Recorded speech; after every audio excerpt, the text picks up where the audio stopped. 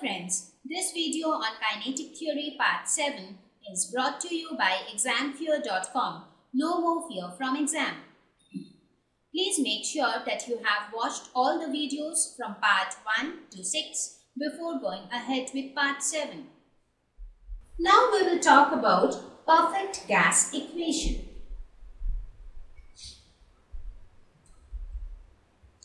What is perfect gas equation? This is PV is equal to mu RT. If you see when I talked about behavior of gases, I said that PV is equal to KT, right? So this equation is nothing different from that. It is basically the representation of the same equation in a different form which we will come to know just now. So don't get confused that there we wrote some other equation and here we are writing some other equation. Now why is this called perfect gas equation? Because this equation tells about the behavior of a gas at a particular circumstance or a particular situation. For example, as I told that this equation is satisfied by a gas at low pressure and high temperature. Now, if a gas satisfies this equation, we say that the gas is a perfect gas or the gas is an ideal gas. So, this equation is referred to as the perfect gas equation or the ideal gas equation. Now, in this equation, so what is mu in this equation? Mu is nothing but the number of moles of the gas. R is universal gas constant. So, what is this universal gas constant now? Universal gas constant is nothing but it is defined as the product of Boltzmann constant and Avogadro's number. So this is Boltzmann constant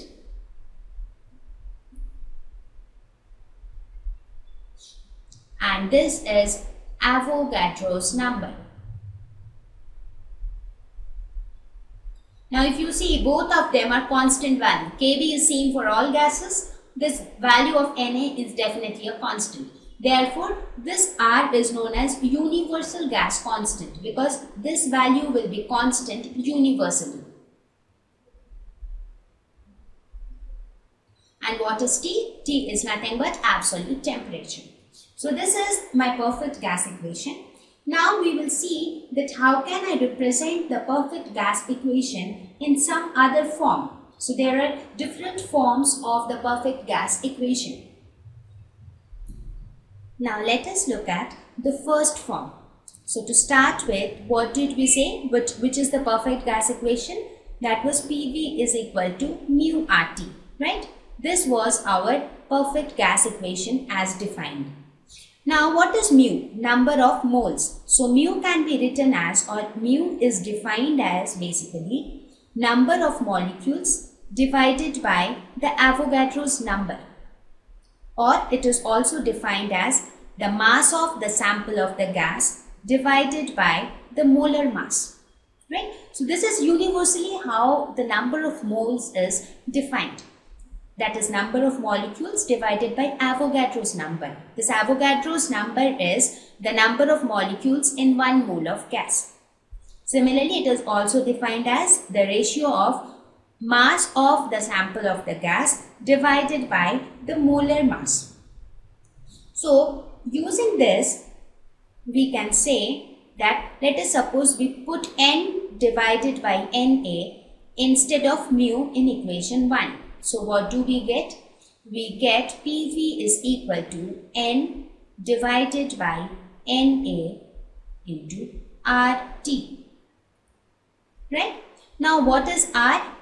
I just now told you in the previous slide that R is defined as Na into Kb. Right? So this Na and Na gets cancelled. So this is equal to N into Kb into T. So if you see what is this N into Kb?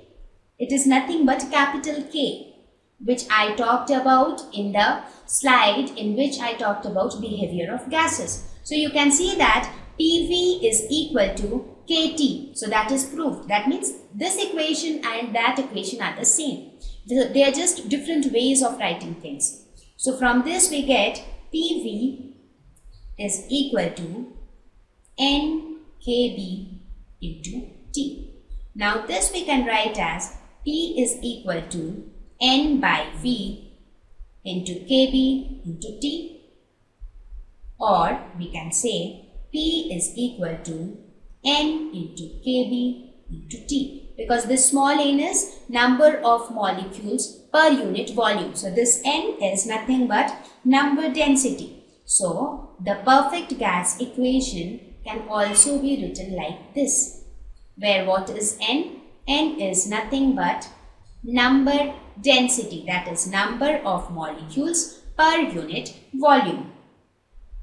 So this was my first alternate form of perfect gas equation. Now, what is the use of telling different forms of the same equation? Why I am telling you is, suppose if the perfect gas is expressed in one of these forms, you might see the equation and you might think that no, a perfect gas equation was PV is equal to mu RT, but it is something else, right? So, because it is not always easy to recollect things then and there. That is why I am telling you how do we get all these different forms of perfect gas equation. So, what I am trying to tell you is these all equations basically are the same. So, let us see the second form now. In the second form, what we will do is we will put the value of mu is equal to m divided by m naught in equation 1. So earlier I had put n by na, now I will put m by m naught. So what will I get? I will get PV is equal to m divided by m naught into RT. So this we can write as P is equal to m divided by V into 1 by m naught into RT. So what do you think is m by v? Mass per unit volume is nothing but density.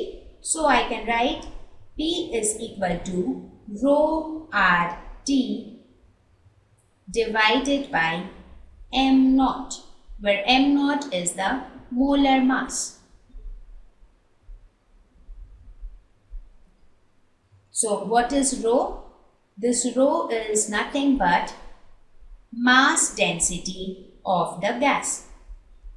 So one equation was in terms of number density that is number of molecules per unit volume. The other one is in terms of mass density that is mass of the gas per unit volume.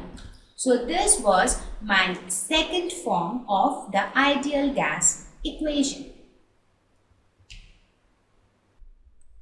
Thank you. Please visit examfear.com to watch free educational videos, try free online tests, get the best quality study materials, study from the best tutors and mentors, and much more. Thank you once again.